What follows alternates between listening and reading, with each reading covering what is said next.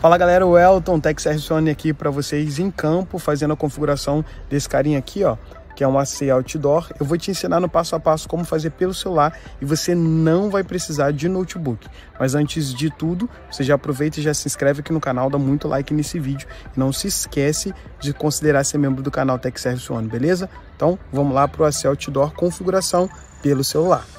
Então, galera, esse aí é o AP1250AC Outdoor da Intelbras, muito bom, tem uma potência maravilhosa, né? Ele meio sujinho porque uma outra equipe fez a, a, instalação, a gente vai agora fazer a configuração do equipamento, ainda vamos otimizar algumas coisas ali, mas eu vou te mostrar aqui no celular bem rapidinho como você vai fazer, tá bom? Bora lá! Fala galera, o Elton aqui para mais uma dica para vocês aí que vão configurar o AC Outdoor da Intelbras, né? Muito top esse AP1250 AC Outdoor. Ele não vem, cara, com as configurações de DHCP habilitadas, ou seja, basicamente ele vai funcionar em modo bridge. Para você poder acessar ele a primeira vez, igual aqui, ó, eu tô acessando, o que, que você tem que fazer? Eu estou usando aqui o iOS, mas o procedimento serve para Android também. A gente vai clicar nessa bolinha com o i azul aqui, clicamos e a gente, o que, que a gente tem que fazer? A gente tem que fixar manualmente o endereço de IP, tá? Então a gente vai clicar aqui em configurar IP, vai marcar manual, salvar.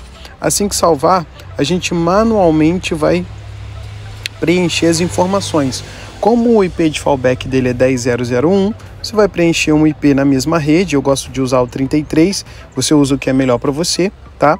255, 255, 250, a máscara padrão clique em salvar, não precisa colocar roteador nesse caso, e aí a gente vai conseguir a conexão. Feito isso, a gente vai para a tela onde a gente muda a senha.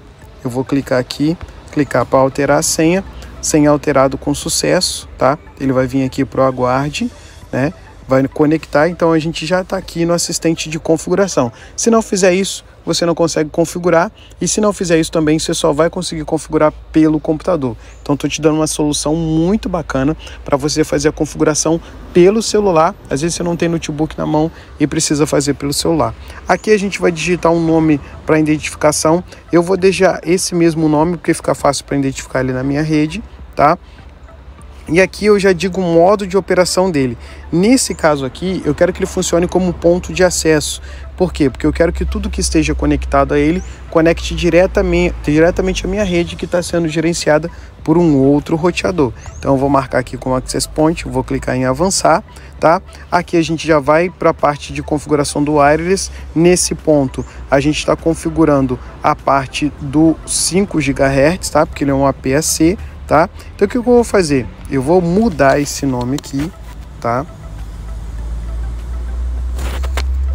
Para CFTV IP traço tech, né? E aqui eu vou dar um outro traço e vou colocar qual é a rede para ficar fácil identificar, tá? Por que, que eu coloco isso? Para a gente não confundir na hora de programar as câmeras. Aqui a gente vai escolher um modo de segurança. A gente vai digitar a senha, escolhe o modo de segurança, a gente digita a senha e eu já volto na sequência. Digitamos a senha aqui da rede 2.4, a gente vai clicar em avançar. O endereço de fallback eu vou deixar o mesmo, tá? Por que, que eu vou colocar aqui? Porque a LAN eu posso deixar no IP dinâmico automático, que, que é o que? Ele vai receber o IP ali da minha rede e vai ser configurado automaticamente. Se eu desmarcar aqui, eu vou ter que colocar o endereço fixo aqui que já está na minha rede, tá?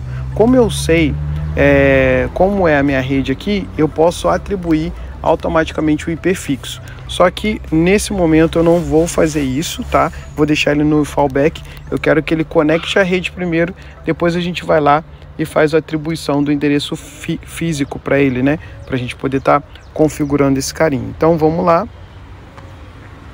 Agora que as configurações foram finalizadas, tá? Eu vou clicar em finalizar, ele vai reiniciar e logo após ele vai me dar o nome da rede aqui, tudo certinho. Eu vou precisar conectá-lo novamente.